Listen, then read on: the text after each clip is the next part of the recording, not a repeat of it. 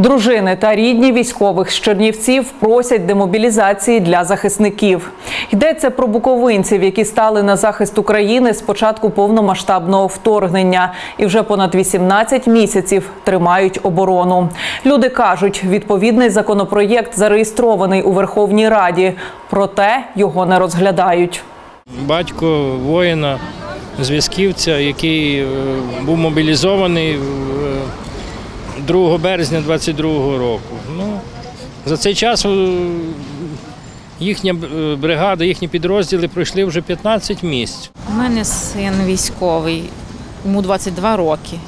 Він тільки прийшов з армії і два місяці буквально віддихнув, можна сказати, і пішов. І вже він півтора року на війні. Запорізький напрямок, це 65-та їхня бригада. Дістав три контузії за два місяці. Мій чоловік пішов на війну 25 лютого 22 року і зараз під Бахмутом знаходиться.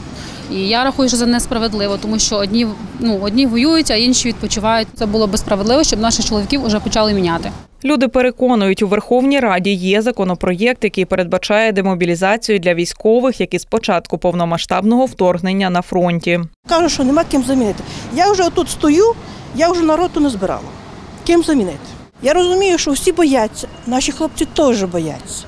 Тому що те, що вони там бачать, нам навіть і не снилося.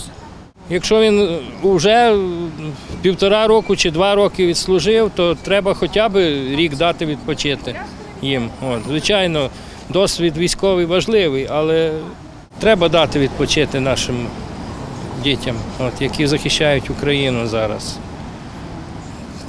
Не може бути двох виходів з мобілізації або цвинтар, а- або каліцтво. Нехай влада встановить хоча б ще, ще якийсь третій вихід. Нині родичі військових підписали звернення до міської ради, аби через владну вертикаль донести до урядовців необхідність такої демобілізації. Звернення у міську раду це в першу чергу, тому що ми з Чернівців, це от так от.